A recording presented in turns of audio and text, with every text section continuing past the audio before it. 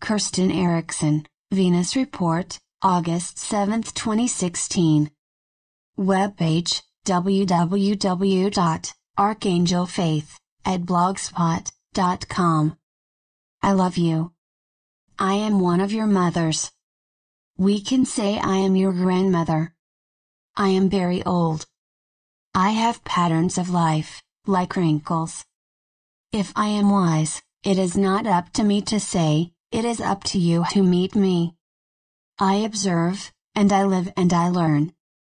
And I have my children, they are living all around me, at a distance yes, but not so far away. Then I have many grandchildren. I love you so dearly, I know of all your paths. Maybe you think to yourself, am I really there at all? Well, I have a very good view over you. Every heart has its own individual beat.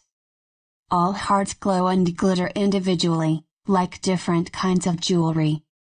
No heart is exactly like the other. You are all unique. You just don't realize it. And there are no distance, as our hearts are one, and the beautiful bond between us make us close forever.